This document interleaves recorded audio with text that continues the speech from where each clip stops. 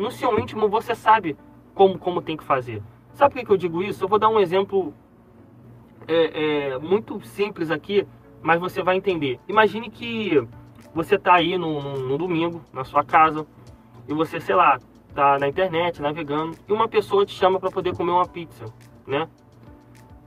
Ou para algum lugar. Só que na real, você não tá muito afim. Você tá afim de ficar ali na sua casa, vendo televisão ou, ou na internet e tal. Mas essa pessoa insistiu. Aí você foi. Só que quando você foi, você é, teve uma, uma. Você negou a si mesmo. Então fica aquela, aquela energia lá dentro, assim, mexendo, pô, eu não queria fazer isso, mas foi. E aí você foi lá e, e não foi bom, você não mudou o ponto de perspectiva, aí você, tá vendo? Era para ter ficado em casa. Mas a pessoa insistiu tanto e você cria.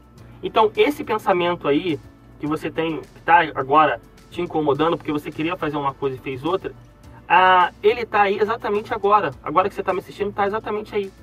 Então, tipo assim, se você desfocar das coisas que você quer colocar, os pesos, e, e focar no que você te faz bem, naquilo que realmente é, é, é, feliz, sem medo de ser feliz, né?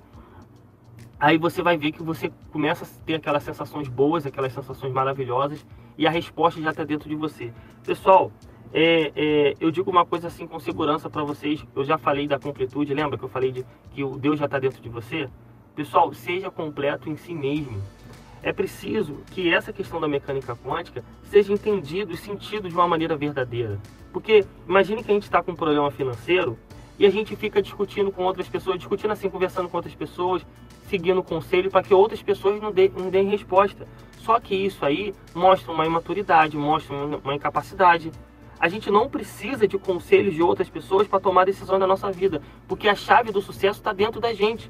Lembra, pessoal, nós somos deuses. É preciso que se que se tenha um entendimento real e não apenas fictício que as pessoas escutem, achem bonitinho, precisa ser prático. Entendeu? Então, assim, pare de escutar conselhos de outras pessoas e a chave da, da resposta já está dentro de você. A resposta está dentro de você. Né? E aí, o que acontece? Vamos lá. É, as pessoas, principalmente quando se trata de dinheiro, de prosperidade, eu estou batendo muito nessa tecla, porque é onde mais reflete a questão do ego. Se reflete em todo outro sentido, mas eu vou falar muito de dinheiro aqui, porque é que a grande maioria das pessoas buscam, e entendendo isso aqui, é, a gente fala, quando a gente fala, na verdade, eu falo de dinheiro, falo de prosperidade, prosperidade é algo mais amplo, né? Abrange muita coisa. As pessoas, as pessoas elas têm uma mentalidade de escravo. Por quê? É, é, elas foram doutrinadas que precisa tra trabalhar num, de carteira assinada, e elas vão seguindo aquele plano de vida e, fazem, passam sua vida toda é, sem realmente fazer o que é o objetivo dela mesmo, o que, o, que, o que faz bem. Então foi feito, a nossa sociedade, o nosso sistema, colocou a gente numa condição é, é, de escravo. E a gente está tão num sono profundo, como Jesus falava, desperta tu que, que, que dormes, que é preciso que se tenha vídeos como esse aqui, livros como, como vários outros livros, e palestras para ensinar a pessoa a, a, a voltar àquele sistema de defesa, aquele sistema de sobrevivência, para ter energia para poder construir o sucesso, para poder construir aquilo que você quer. Entendeu? Então, assim, é, é, a pessoa acaba é, tendo um, um zumbi, virando um zumbi, né? Entenda, se tem um experimento lá da dupla fenda é, que aconteceu é, e muitas coisas hoje, por exemplo, seu celular é feito com base da mecânica quântica. Isso quer dizer que os cientistas que estavam lá, eles sabem muito bem o que estão fazendo. Porque se não soubesse, no momento que você apertava o botão do celular, o celular não ia ligar. Né? A bomba lá de Hiroshima não iria acontecer. Então, assim, os experimentos são feitos e são colocados em prática. Mas por que você consegue é, é, é, entender isso, mas você não aceitar? Ah, eu não aceito a mecânica quântica. Na verdade, não aceita a mecânica quântica. Porque o que traz, o que está por trás da mecânica quântica é o próprio Deus. Na realidade, a pessoa não aceita Deus em si mesmo. Por conta que do ego. Aí que está o, o, grande problema. Assim, ah eu, ah, eu entendo isso, mas eu quero fazer isso. É o teu ego. É o teu ego. Só que o Deus, ele tem a paciência do mundo. Ele está esperando você se transformar. Enquanto isso, vem problemas e problemas e problemas e problemas na tentativa de você emergir desse lodaçal aí, dessa lama toda, tirar, lavar, limpar. Pessoal, se realmente vocês entenderem isso mudar a forma de pensar, a forma de sentir, principalmente sentir, você dará saltos quânticos, você, você vai se sentir leve. Isso tudo pode ser muito fácil, porque você gasta uma energia toda se prendendo.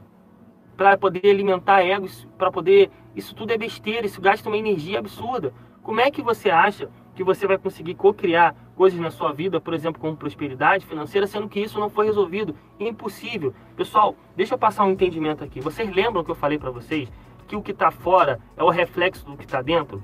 Tudo é consciência. Por exemplo, essa caneta aqui é consciente. Tem uma consciência aqui. Tiago, eu não estou entendendo o que, o que é consciência. Pessoal, tudo é feito de elétron. Tudo, exatamente tudo que a gente vê. E por, e por dentro do elétron, digamos de uma maneira simples assim, é um, loda, é, um, é um oceano de energia primordial. E quando eu falo que tem consciência, por quê?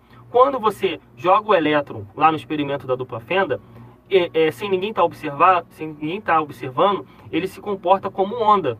Então ele passa pelas duas fendas ao mesmo tempo. Quando tem alguém observando, ele se comporta como matéria e passa apenas em uma fenda. E se por acaso, por acaso, você botar uma, um, uma, uma um, alguma coisa ali filmando, registrando o que aconteceu, se ele passar como onda e alguém observar, ele vai passar como, como é, matéria.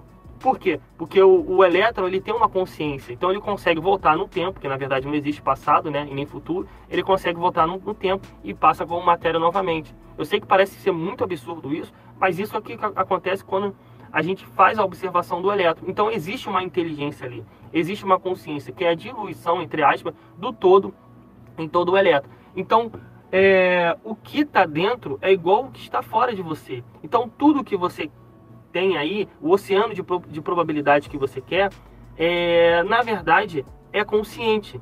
Então, olha só, se o que está aqui dentro é o reflexo do que está ali fora e vice-versa, então quando eu mudar a minha consciência, eu também mudo a consciência do que está fora.